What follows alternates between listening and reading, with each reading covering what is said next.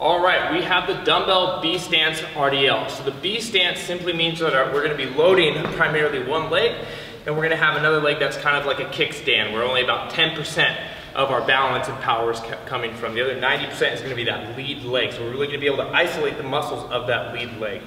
So what we're gonna do, get that lead leg out in front, making sure again, ankles, knees, hips are all tracking in alignment. This little kickstand leg is gonna go out about a foot and just out about a couple inches. This back leg can bend along with this front leg, so no stiff leg pogo sticks out there. So from here, brace the core, set the shoulder blades back. I'm gonna shift my hips back so I'm not falling out in front of my feet, but I'm shifting my hips back, keeping my center of mass right aligned with that shin. When I feel that good stretch, and that good tension in the glute, I'm gonna pull my hips up and through and squeeze at the top. So from the side, here, shift the hips back.